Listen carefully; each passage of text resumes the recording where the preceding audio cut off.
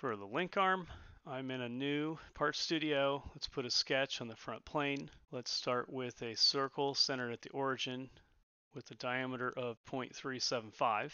And then let's come out here ways where it's connected to the origin. So it's horizontal. And we're going to sketch another circle, diameter 0.375.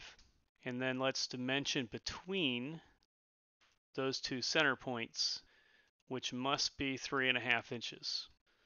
So those two center points being on center at three and a half inches, that is critical. So now let's sketch a horizontal line connected to the other circle. You're going to get the horizontal line symbol. And let's draw another horizontal line. In this one, I'm making a little closer to the origin of the x-axis just to demonstrate one of the some of the new tools that we have here. And I want to use the equal constraint. Up here is our numerical constraint where we give dimensions to things. And then to the right of that are all kinds of geometric constraints. So the equals constraint, I'll make those two line segments equal to each other. So we saw one of them kind of jumped into place.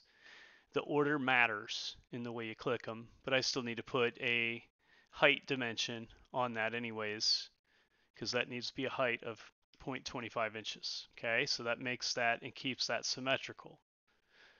And then we could go ahead and draw another circle, diameter of 0.128 on both ends, which will give me the hole that I need.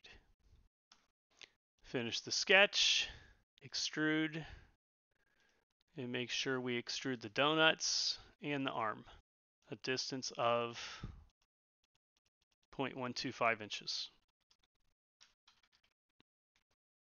And that's the link arm.